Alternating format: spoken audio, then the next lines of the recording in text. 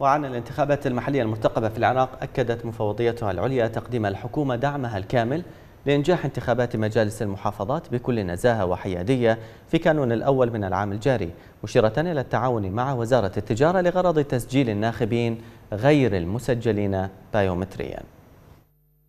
عقب الاجتماع الذي جرى بين رئيس مجلس الوزراء ورئيس وأعضاء مجلس المفوضين بحضور السادة المديرين العامين في المفوضية العليا المستقلة للانتخابات. بتاريخ 22 5 2023 الذي قدم فيه دعم الحكومة الكامل لعمل المفوضية في إنجاح انتخابات مجالس المحافظات بكل نزاهة وحياديه في كانون الأول من عام 2023 مع الاستعدادات للانتخابات المحلية المقبلة وافق رئيس الإدارة الانتخابية القاضي عباس الفتلاوي على آلية التعاون مع وزارة التجارة وذلك بتنسيق العمل والتعاون مع المراكز التموينية من خلال عمل موظفي المفوضية جنبا إلى جنب مع موظفي المراكز التموينية لغرض تسجيل الناخبين غير المسجلين بايومتريا مع توزيع بطاقة الناخب للمسجلين سابقا وذلك عند تحديث بطاقتهم التموينية.